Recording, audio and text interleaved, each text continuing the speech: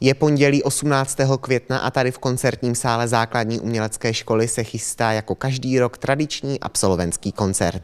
Vážení rodiče a hosté, dovolte, abych vás jménem naší školy přivítal na absolventském koncertě pro školní rok 2014-2015.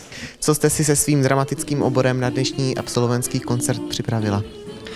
Na letošní absolventský koncert jsme si připravili takovou trošičku vážnější věc. Eh, je to na motivy knižky Leily Sales. Tahle píseň ti změní život a zabývá se takovým trošičku vážnějším tématem. Na tom představení bylo naprosto úžasné, že se na scénáři podíleli samotné, samotná děvčata, která hrála. Kolik děvčat letos absolvovalo?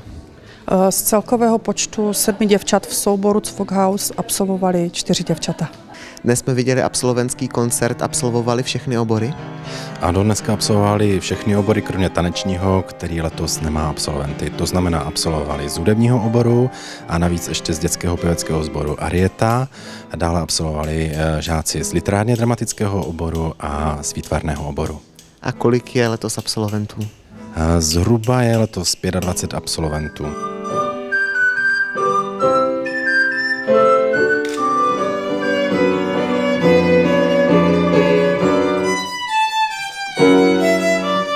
Paní ředitelko, dnes jsme viděli absolventský koncert. Co dalšího nás čeká?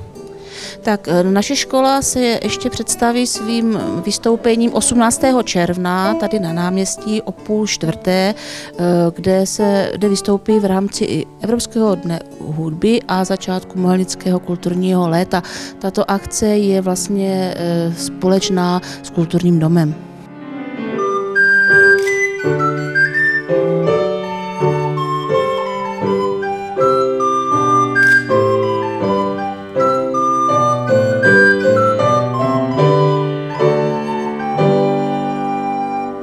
Co všechno dnešní absolventi nabídli? Tak v prvé řadě nám nabídli eh, divadelní představení, tam se představil literárně dramatický obor s představením Trapka a dále vystoupili eh, žáci z hudebního oboru, kteří reprezentovali nástroje jako klavír, kytara, housle a zobcové flétny. No a tady za mnou vidíte i minigalerii eh, z výtvarného oboru absolventů. Čím byli na závěr absolventi oceněni? Tak v prvé řadě potleskem posluchačů a diváků a, a dále dostávají upomínkové předměty, dále pamětní listy a na konci školního roku dostávají i absolventské vysvědčení. Jak se vám líbil dnešní absolventský koncert?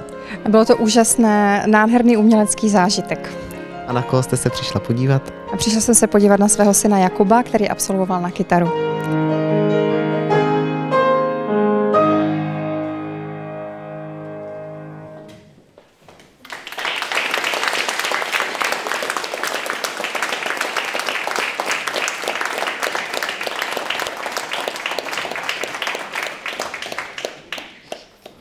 Tak a takový byl letošní absolventský koncert a my všem absolventům přejeme, ať stále sem do Zušky rádi chodí. Šimon Čpup, Mohelnická televize.